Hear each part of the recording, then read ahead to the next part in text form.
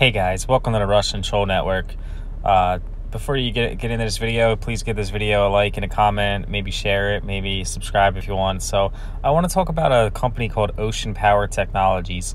Now, Ocean Power Technologies, um, as I've been looking at the chart here, obviously they have not had a very good year. They're down 34.23%. Uh, they were super inflated. Uh, they have this product which somehow generates electricity using the waves of the ocean.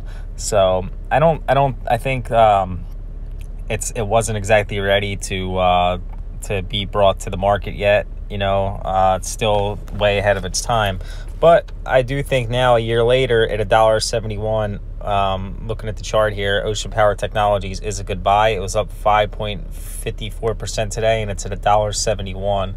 So uh, it does look like we have some really good levels of support. I think as long as we can hold over this uh, dollar seventy line, well, or this, uh, as long as we can stay above this dollar seventy line, we are on offense. And it did drop a little bit in the after hours. It's down uh, one point seventy two percent, but uh, Ocean Power Technologies is is a great company. Uh, as soon as this market turns around, this is another one of those companies that I think is also going to turn around. Um, just think about it, guys.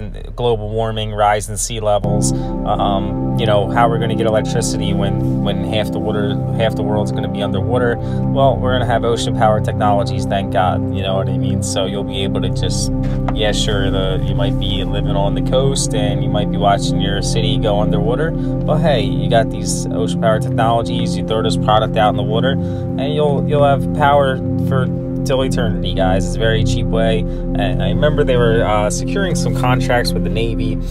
So it's not as though, you know, people weren't interested in ocean power technologies. It just hasn't become as prolific as it should have. But here we are, guys, um, sitting at $1.71. I know I'm going to be picking up some ocean power technologies, especially with that little dip at uh, 1.72%, guys.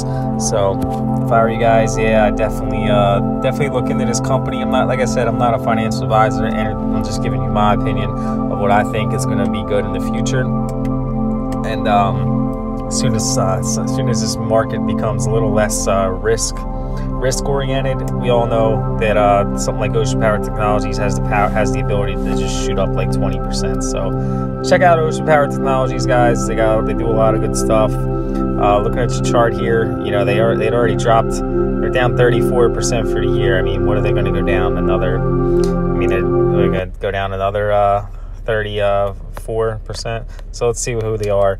They got CEO uh, J. J. Philipp Stratmann, founded in 1984, 46 employees. Uh, looks like they got one point market cap of 97